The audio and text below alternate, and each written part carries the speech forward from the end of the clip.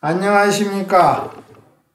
BTN을 시청하시는 불자 여러분, 개면연 성도제의를 맞이했습니다. 부처님께서 출가하기 전 왕궁에 계실 때 나이가 12살이 되셨습니다. 그때 비로소 어, 태자로 봉안되시고 어, 농경제에 참여하시게 됩니다.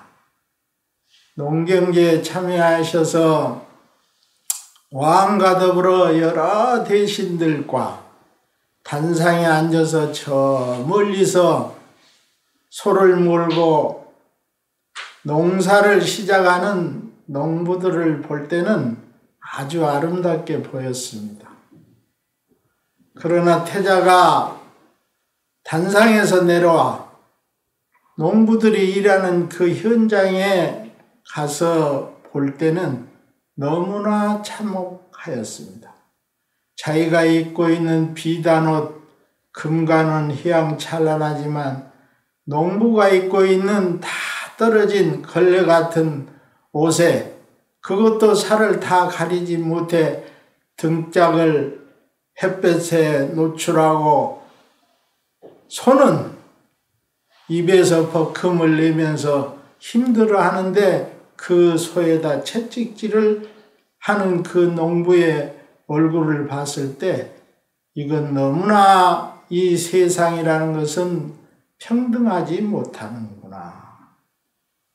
그런 생각을 하고 있는 차에 소의 쟁기에 갈린 땅 속에서 벌레들이 나와가지고 꿈틀거리는데 저 나무에 앉아 있는 새들이 내려와서 그 벌레들을 서로 먹겠다고 다투면서 쪼아가는 그 현실을 볼 때 우리 인간들은 어떻게 이렇게 평등하지 못하고 불평등한가?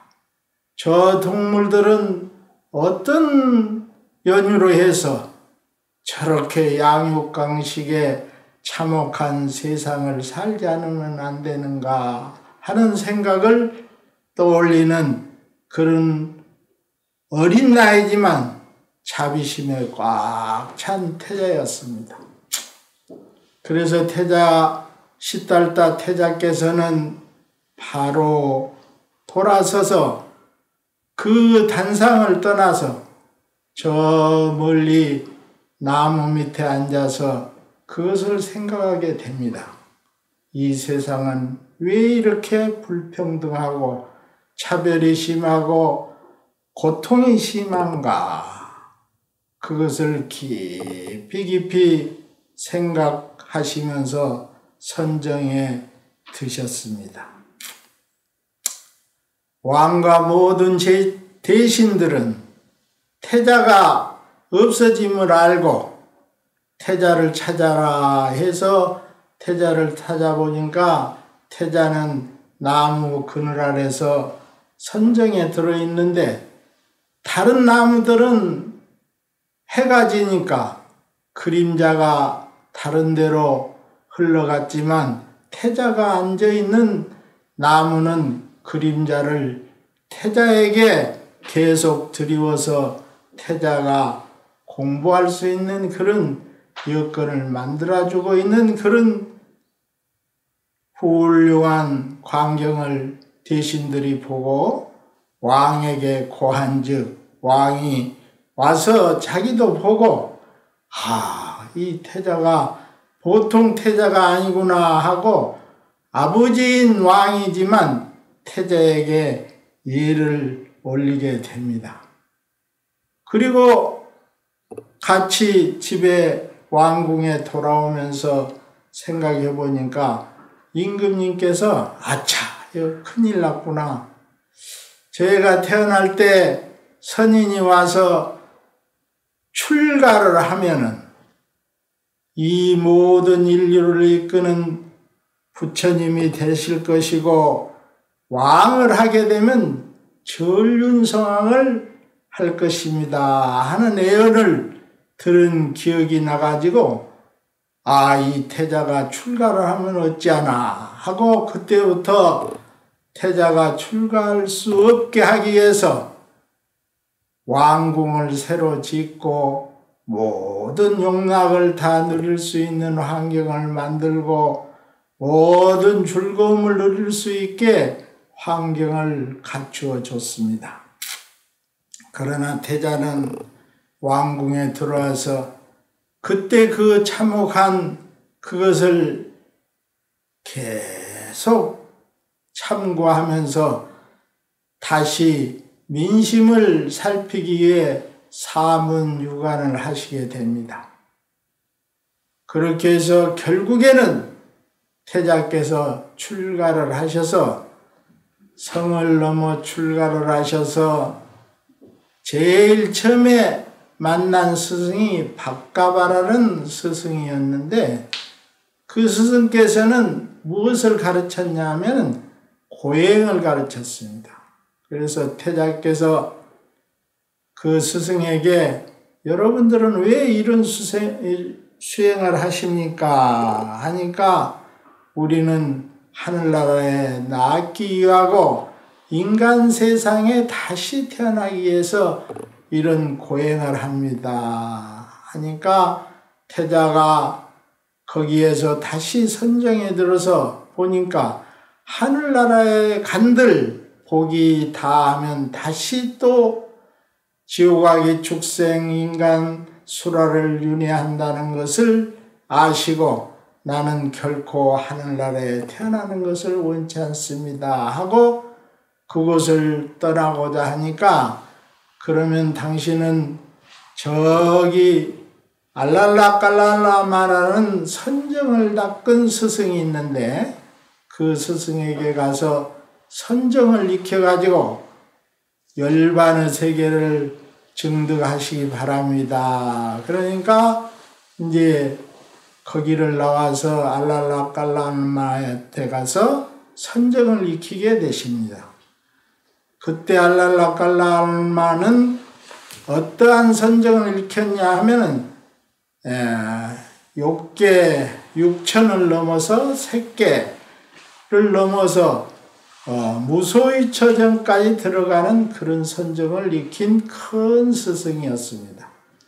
그래서 거기에서 그 스승이 가르친 대로 시달다 태자도 수행을 한 결과 거기에 올라갔지만 무소유처를 증득해 봤지만 다시 선정에서 나오면 괴로움이 다시 시작된다는 것을 증득하시고 아 이것으로서는 모든 괴로움에서 해탈할 수 없구나 하고 다시 거기를 나와서 나오고자 하니까 알랄라 깔라마가 나보다 더 위에 스승이 있습니다.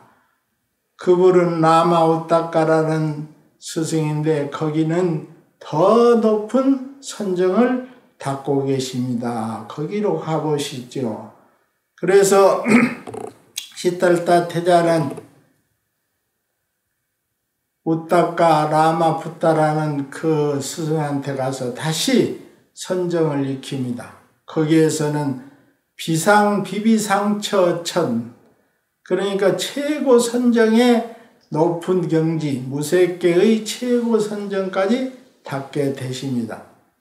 그렇지만 거기에서도 똑같이 선정에 드, 들었을 때는 열반에 드는 것 같지만 아무 고통도 괴로움도 없는 안락한 세상이었지만 다시 또 선정에서 나왔을 때는 괴로움이 시작되고 인간 세상의 모든 차별이 그대로 분별되는 그런 세상이 펼쳐진다. 그래서 누구도 그때 당시에 모든 사문들이 했던 그런 수행을, 고행의 수행을 다 넘어서 자기만이 할 수 있는 수행까지 해봤지만 그것도 모든 고통에서는 벗어날 수 있게는 하지 못했습니다. 그래서 다시 수자타라는 목동 아가씨가 올린 우유죽을 드시고 리련서나 강에 들어가셔서 목욕을 하신 다음에 다시 보리수 나무에 앉아서 선정에 드시게 됩니다. 그때 선정에 드신 것은 당신이 12살 때 농경제 때그 참혹한 현실을 바로 보고 여기에서 왜 사람들은 평등하지 못하고 불평등한 속에서 괴로움을 당하고 있는가? 왜 저 미물들은 양육강식에 쓰라린 고통을 당하고 있는가? 하는 그 의문, 그 의문, 그때 닦았던 그 선정, 그것을 생각하시고 그 선정을 닦으시기 시작을 합니다. 그래서 오늘 저녁을 정진하신 나머지 새벽에 동쪽에 떠오르는 어, 샛별을 보시고 깨달음을 성취하시게 됩니다. 그 깨달음이 내중에 초전 법륜이라는 어, 경을 설하셔서 자기의 깨달음의 경지를 말씀하십니다. 그러나 그 말씀을 우리는 지금 듣고도 그 부처님께서 깨달으신 그 경지를 스스로 증득하기는 어렵습니다. 우리도 부처님 같이 수행을 해야사 그 부처님의 경지를 깨달아서 우리도 부처가 될 수 있는 것입니다. 그래서 부처님께서 그 밤을 정진하신 그것을 우리도 본받아서 똑같이 가행정진을 하고 철야정진을 하고 용맹정진을 해서 부처님같이 되고자 노력하는 날이 오늘 성도제를 기념하는 날이 되겠습니다. 우리 불자 여러분들께서는 부처님이 깨달으신 그 경지, 부처님께서 초전법륜에 말씀하시기를 이 세상은 고통으로 되어 있다. 그 고통은 모든 생명들의 욕망에서 시작된다. 그 욕망을 멸하면, 그 욕망을 소멸하면은 바로 고통에서 벗어날 수 있다. 그 욕망을 소멸하는 방법은 바른 길, 팔정도라 말씀하셨습니다. 이 세상 모든 이치를 바로 보고, 바로 생각하고, 바로 말하고, 바로 행동하고, 바른 생활을 하고, 바른 정진을 하고, 바른 마음 챙김을 하고 바른 선정에 들어서 바른 날을 체득할 수 있는 것 이것이 바로 선정의 진리에 들어가는 아, 부처님의 가르침이 되겠습니다. 우리는 오늘 성도제를 맞이해서 부처님의 수행하시던 그 수행법으로 이 세상을 살아갈 때 우리는 머지않아 부처를 이루게 되는 것입니다. 실례로 들어서 말씀을 드리면 옛날에 중국의 당나라에 덕산 성감선사라는 선사분이 계셨습니다. 그분께서 아, 일찍이 출가를 하셔서 경과율을 공부하시고 그 중에서도 금강경을 아주 어, 깊이 연구하셔서 어, 제자들을 많이 가르치고 계시는데 한 제자가 말하기를 지금 남방에서는 마음이 곧 부처다. 이렇게 바로 깨닫는 법을 가르치는 선사님들이 많이 계시다는데 스님께서는 그 부분에 대해서 어떻게 생각하십니까? 그러니까 덕산 성감 선사께서 아그 마구니들이 불처진 법을 잘못 가르치고 있다. 내가 가서 제도해야겠다 해서 걸망을 치시고 만행을 시작하십니다. 이제 승인 스님이 계시는 절에 올라가서 다 보니까 승인 스님 법포가 용담이 용담. 그러니까 그 용담을 비롯해서 어, 용담에 오니까 용도 없고 담도 없네 그러고 또 다시 그 자만심이 싹 터가지고 비웃는 말을 합니다. 그러니까 더 방에서 듣고 계시던 용담 승인 스님께서 헉! 하를 하시면서 너는 이미 용담에 들어왔느니라. 그러니까 또 딱 맥혔습니다. 스님 가르침을 주십시오. 그러고 이제 그때사 예를 갖추고 어, 절을 올려서 이제 법담을 서로 나누다가 밤이 됩니다. 그래서 밤이 돼 가지고 당신 방에 가서 자기에서 나오다 보니까 밖이 캄캄합니다. 그러니까 다시 돌아서서 스님 등불을 하나 주십시오. 그래서 등을 하나 딱 주시는데 그 등불에 불이 안 켜져 있기 때문에 이제 불을 켜기 위해서 다른 초에서 불을 붙여갖고 등불에 탁 붙이려 하는데 용담스님이 확 불을 꺼버려.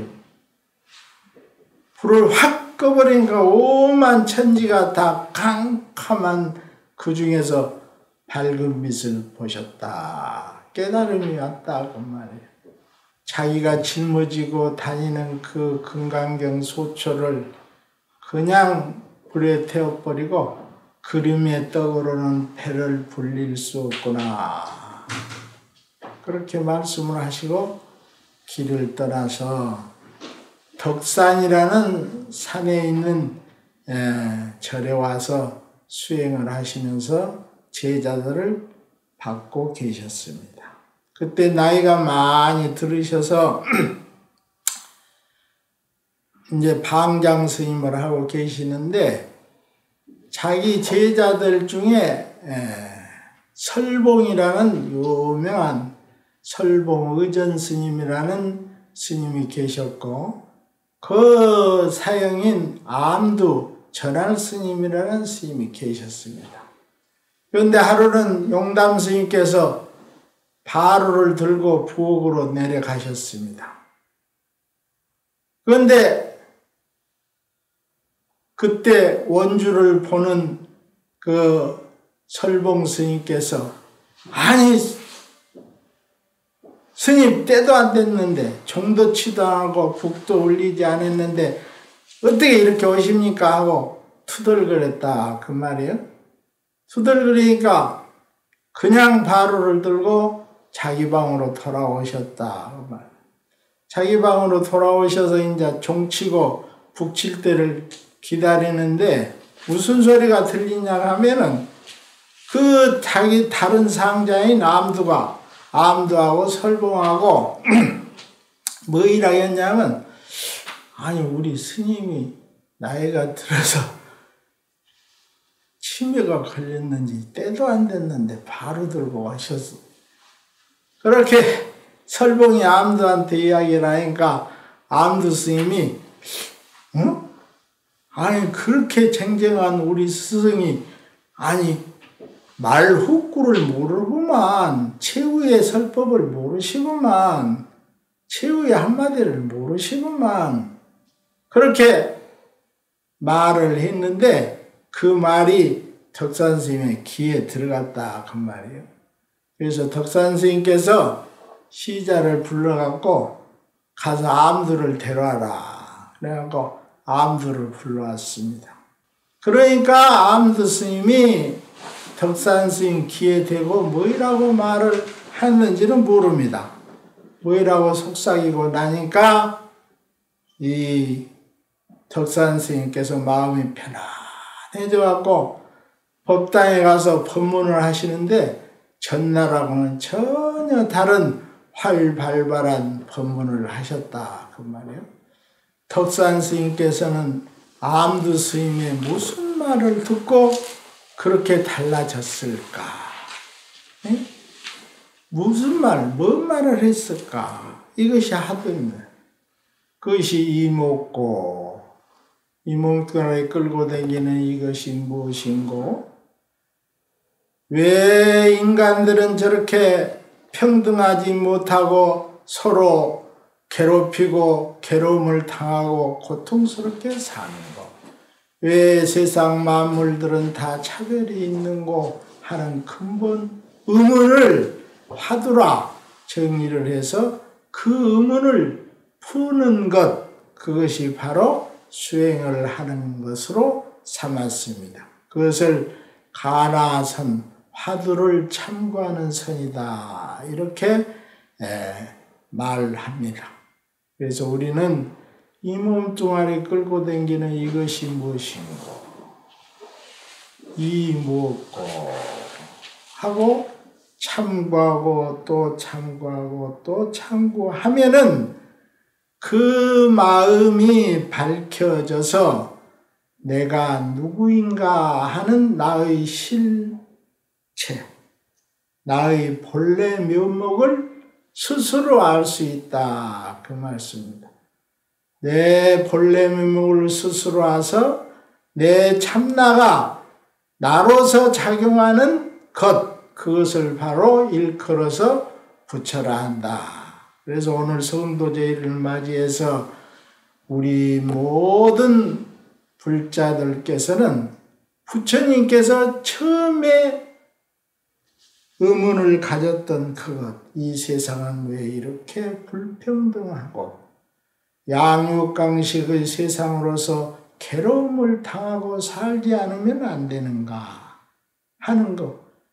내가 이것을 해결하기 위해서는 출가를 해서 도를 이루어 가지고 모든 이웃을 다 편안케 하리라 하는 그 원력으로 출가하셔서 오늘 성도 하셔서 많은 중생을 제도하셨다는 그 날이 바로 오늘인 것입니다. 우리는 부처님을 따라서 부처님과 같이 올곧게 수행 정진하여 모든 이웃과 함께 평화롭고 안락한 세상을 만들어 가는 내 오늘이 출발점이 되시라는 말씀으로 성도절에 부처님 말씀을 대신합니다. 모두 건강하시고 성불하시기 바랍니다. 성불하십시오.